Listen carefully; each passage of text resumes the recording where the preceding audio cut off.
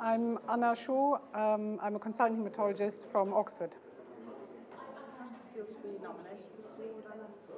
I think it's great. You know, it came as a bit of a surprise because I had no idea what this was all about. um, but you know, it's good to celebrate um, achievements. I think we never do that, so it's good. What does it mean for your research? I think it'll encourage me even more to continue recruiting into commercial studies. I mean, in Oxford, we are always encouraged to um, run academic studies and early phase, phase one, phase two studies. Um, so, uh, but the phase three portfolio is really important and it allows patients access to treatments that they would otherwise not be able to access on the NHS.